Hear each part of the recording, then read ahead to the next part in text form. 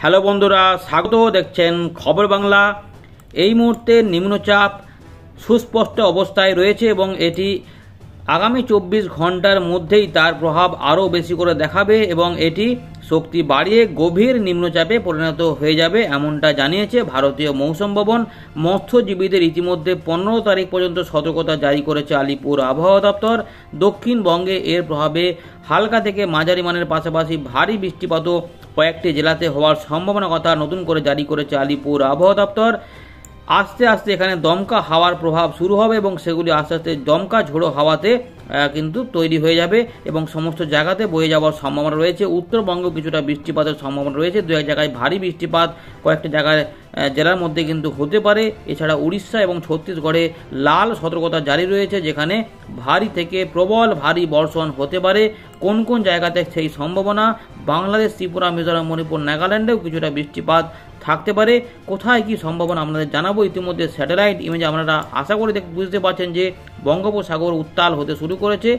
মেঘের বিস্তার দেখলেই বুঝতে পারছেন। এখানে কিন্তু এখানে সমুদ্রের যে ঝোড়ো হাওয়া, তার জন্যই মেঘের কিন্তু এইরকম গঠন হয়েছে এবং আস্তে আস্তে দেখা যাচ্ছে যে উড়িষ্যার সংলগ্ন এলাকাতে কিন্তু গভীর মেঘ তৈরি হচ্ছে এবং ধীরে ধীরে পশ্চিমবঙ্গের দক্ষিণবঙ্গে এবং বাংলাদেশের বিভিন্ন অংশে কিন্তু আস্তে আস্তে মেঘ ঘনাচ্ছে এবং এই সমস্ত জায়গাতে বৃষ্টিপাত কিন্তু পরবর্তী ক্ষেত্রে আসতে পারে। আমরা দেখে নিচ্ছি রবিবার যে সম্ভাবনা সবথেকে বেশি, তাতে কি কি উঠে আসছে, আপনার এলাকায় আকাশটা এখন কেমন রয়েছে, কমেন্টে অবশ্যই জানিয়ে দিন। দমকা হাওয়া আস্তে আস্তে আপনারা পাচ্ছেন কিনা মানে হাওয়াগুলি বাড়ছে কিনা অবশ্যই জানাবেন। এছাড়া কেউ বৃষ্টিপাত পেয়ে থাকলে অবশ্যই জানাতে ভুলবেন না। তাহলে আপনাদের কমেন্ট থেকে অনেক কিছু বোঝা যাবে যে অ্যাকচুয়ালি বা প্রকৃতপক্ষে কি হচ্ছে। চলুন দেখি কি আপডেট উঠে আসছে। আলিপুর আবহাওয়া দপ্তর কী জানাচ্ছে সেটা প্রথমে জানিয়ে দিই, তারপর বাকি আপডেট আমাদের উইন্ডি থেকে তারপরে জানাচ্ছি। তো বন্ধুরা, ইতিমধ্যে আলিপুর আবহাওয়া দপ্তর তেরো তারিখ অর্থাৎ শনিবার সন্ধেবেলাতে আপডেট প্রকাশ করেছে, সেখানে সতর্কতা জারি করেছে, হলুদ সতর্কতা, যেখানে দেখুন, এখানে কিন্তু যেটা বলছে যে উত্তরবঙ্গেও কিন্তু ভারী বৃষ্টিপাত দু এক জায়গাতে হতে পারে। তেরো এবং চোদ্দ তারিখ বা পনেরো তারিখ সকাল সাড়ে আটটা পর্যন্ত সময়ের মধ্যে মূলত সম্ভাবনা দু এক জায়গাতে থাকছে। দার্জিলিং, কালিম্পং, জলপাইগুড়ি, কোচবিহার, আলিপুরদুয়ার, এই জায়গাগুলির মধ্যেই কিন্তু দু এক জায়গাতে ভারী বৃষ্টিপাত এবং কোথাও কোথাও হয়তো বজ্রবিদ্যুৎ অ্যাক্টিভিটি হতে পারে। সিকিমের দিকেও ভারী থেকে অতি ভারী বৃষ্টিপাতের নতুন সতর্কতা জারি রয়েছে, যেখানে সিকিমে বৃষ্টিপাত বাড়বে।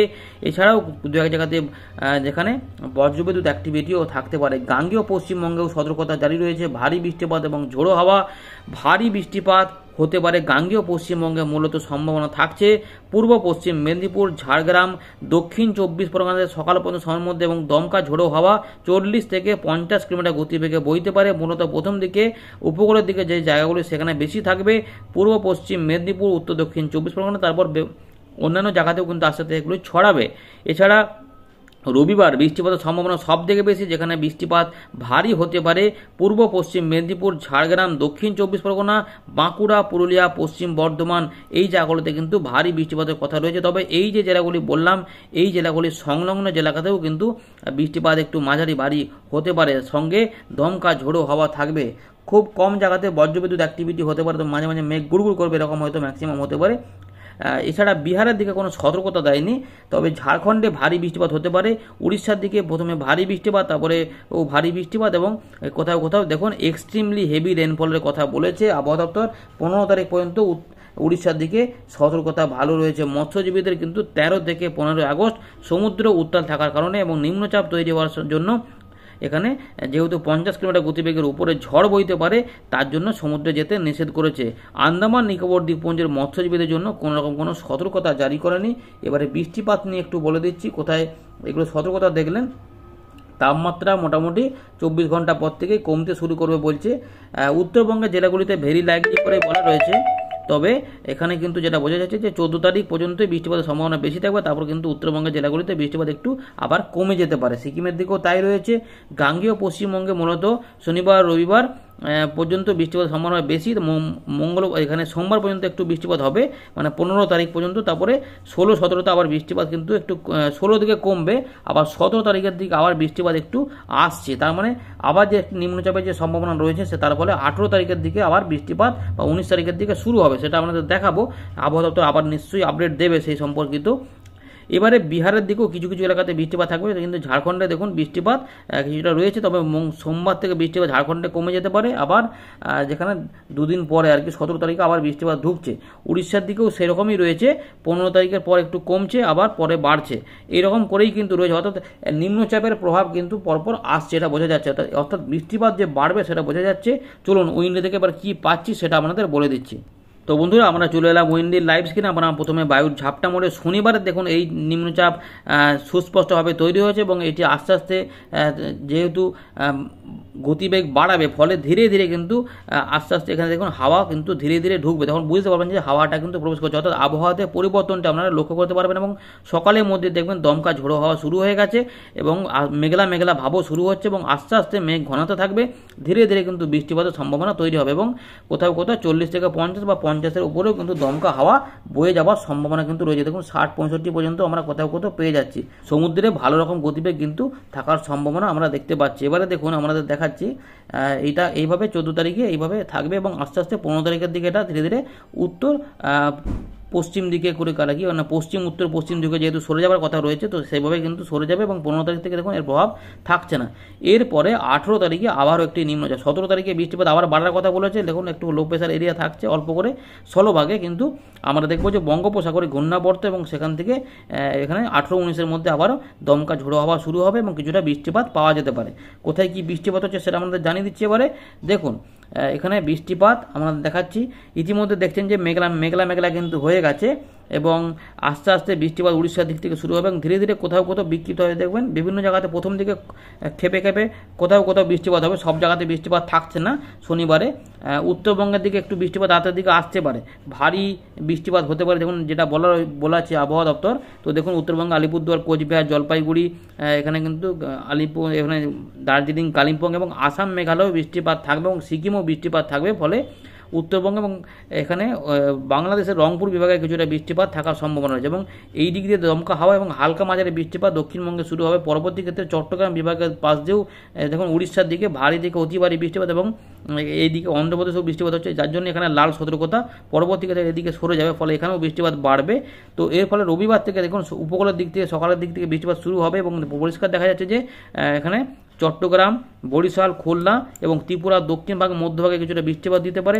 পরের দিকে এই দিকগুলোতে আসবে কিন্তু কলকাতা, হাওড়া, হুগলি, দুই চব্বিশ পরগনা, দুই মেদিনীপুর, ঝাড়গ্রামের দিকে বৃষ্টিপাত প্রথম দিকে চলে আসবে। পরবর্তী ক্ষেত্রে দেখছেন এখানে কিন্তু ভারী বৃষ্টিপাতই থাকবে এগুলোতে। যার জন্য সতর্কতা পরবর্তীতে আমরা দেখতে পাচ্ছি বৃষ্টিতে একটু পরিবর্তন হয়ে যাচ্ছে এবং আগের আপডেটের থেকে এটা কলকাতা, হুগলির দিকে চলে যাচ্ছে এবং বর্ধমানে পর্যন্ত চলে যাওয়ার সম্ভাবনা। ফলে বর্ধমানেও মাঝারি ভারী বৃষ্টিপাতের সম্ভাবনা। নদীয়ার কিছু শান্তিপুরের দিকে দেখুন এখানে, দেবগ্রাম এগুলোতে কিন্তু এদিকে রানাঘাট, চাকদা, এদিকে পান্ডুয়া, মেমারি, এদিকে বৃষ্টিপাত থাকছে কিছুটা মন্টেশ্বর ভাতার মঙ্গলকোট, বর্ধমান এদিকে খণ্ডঘোষ গলসি পাত্রসাহের সোনামুখী, বেলাতোড়, এদিকে কিন্তু যাচ্ছে মানে পুরুলিয়ার দিকেও যাবে এবং ঝাড়গ্রাম এবং দেখুন পশ্চিম পূর্ব মেদিনীপুরের উপর দিয়েও কিন্তু এটা দেখুন এটা বেরোচ্ছে, জামশেদপুরের কাছ দিয়ে, ফলে এই দিকটাতে কিন্তু বেশ জোরদার বৃষ্টিপাত হওয়ার চান্স এছাড়া গোটা খুলনা বিভাগ এবং ঢাকা বিভাগ ময়মনসিংহ এর প্রভাব পড়তে পারে, বৃষ্টিপাত হতে পারে, দেখুন, পরের দিকে আমরা দেখতে পাচ্ছি এই বৃষ্টিটা এইভাবে কিন্তু উঠবে তখন উত্তরবঙ্গে বেশ কিছু অংশে বৃষ্টিপাত বেড়ে যেতে পারে এবং যেহেতু এটা এই দিক দিয়ে এগোতে থাকবে, একটু বাঁ দিক দিয়ে পশ্চিম, উত্তর, পশ্চিম দিকে, ফলে ওই যাওয়ার সময় কিন্তু পূর্ব বর্ধমান, পশ্চিম বর্ধমান, বাঁকুড়া এবং পুরুলিয়াতে কোথাও কোথাও ভারী বৃষ্টিপাত হতে পারে। তাছাড়া ঝাড়গ্রাম দুই মেদিনীপুরও বৃষ্টিপাত থাকবে। কলকাতা, হাওড়া, হুগলি, দুই চব্বিশ পরগনা এবার মুর্শিদাবাদেও বৃষ্টিপাত পাওয়া যেতে পারে। হালকা মাঝারি বৃষ্টিপাত, বীরভূমে কিছুটা থাকবে। মালদা, দিনাজপুরেও বৃষ্টিপাত থাকতে পারে। রংপুর বিভাগে বৃষ্টিপাত দেখা যাচ্ছে। গোয়ালপাড়া, গুয়াহাটি এদিকেও বৃষ্টিপাত থাকতে পারে। কিছুটা। এছাড়া এখানে বিশ্বম্বরপুরের দিকে থাকছে মানে সিলেট, ময়মনসিংহ কিছু এলাকাতে বৃষ্টিপাত থাকবে এবং হালকা মাঝারি বৃষ্টিপাত বাংলাদেশের বিভিন্ন অংশে থাকবে। খুলনা, বরিশাল, মেহেরপুর থেকে শুরু করে চট্টগ্রাম সব দিকেই থাকবে। উপরের দিকে যে জায়গাগুলি, ডায়মন্ড হারবার, এগুলোতেও বৃষ্টিপাত থাকবে। গঙ্গাসাগর, নামখানা পশুরগঞ্জ দীঘা, মন্দারমণি সব দিকেই বজ বজ এদিকেও বৃষ্টিপাত থাকবে। হাওড়ার বিভিন্ন এলাকাতে বৃষ্টিপাতের সম্ভাবনা থাকছে। হুগলির বিভিন্ন এলাকাতে থাকবে। এছাড়া নদিয়া মুর্শিদাবাদে থাকবে। তো এভাবে কিন্তু দেখুন ধীরে ধীরে এটা এগিয়ে যাবে। তো এইভাবে এগোতে চোদ্দ তারিখ মোটামুটি এই বিকেলের দিক থেকে হয়তো বা সন্ধ্যের দিক থেকে একটু কমতে শুরু করতে পারে এমন সম্ভাবনা। তবে সব জায়গাতে সমান বৃষ্টিপাত হবে না। ভারী বৃষ্টিপাত মানে গোটা যে জেলা জুড়ে হবে সেরকম নয়। বিক্ষিপ্ত ভারী বৃষ্টিপাত, এটা জেনে রাখবেন। পনেরো পনেরো তারিখ থেকে এই বৃষ্টিটা কমতে শুরু করবে। একটু হালকা মাঝারি থাকবে যেহেতু জলীয়স্ফীত হবে এবং দেখুন এই যে মধ্যভাগে বৃষ্টিপাত এখানে বাড়তে বাড়তে এটা এই দিকে একদম রাজস্থানের কাছাকাছি হয়ে এটা গুজরাটের দিকে চলে যাবে। এবং পরবর্তী যেতে যেতে আরেকটি আমরা দেখব যে ষোলো, সতেরো তারিখ থেকে আবার একটু করে বৃষ্টিপাত ঢুকছে যে যার জন্য বলেছে বাড়তে পারে। দেখতেই পাচ্ছেন তো সতেরো তারিখে বৃষ্টিপাত ঢুকছে যেটা আবহাওয়া দপ্তর বলেছে এই ইঙ্গিতটা এবং আমরা দেখতে পাচ্ছি এর ফলেও ভারী বৃষ্টিপাত হতে পারে। এবং আঠেরো তারিখের দিকে আমরা দেখব যে এই আরেকটি নিম্নচাপ যার ফলে আবারও মাঝারি থেকে ভারী বৃষ্টিপাত আমরা বিভিন্ন অংশে কিন্তু পেতে পারি। এখন এটাতে পরিবর্তন হতে পারে, তাই এটাতে পরবর্তী ক্ষেত্রে নজর রাখব। এটাও একটা নিম্নচাপ হতে পারে, ফলে উড়িষ্যাতে এটা উড়িষ্যাতে ভালো বৃষ্টিপাত দেবে। কিন্তু আঠেরো, উনিশের মধ্যে আমরা বৃষ্টিপাত বাংলাতে পাবো। তো এই রয়েছে লেটেস্ট আপডেট পরবর্তী আপডেটে দেখা হচ্ছে। আপডেটটি ভালো লাগলে লাইক করবেন শেয়ার করবেন। ধন্যবাদ।